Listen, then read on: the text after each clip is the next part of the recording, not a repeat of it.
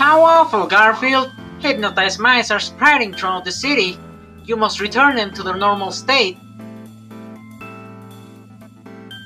Really? And how am I supposed to do that? By using my incredible charm?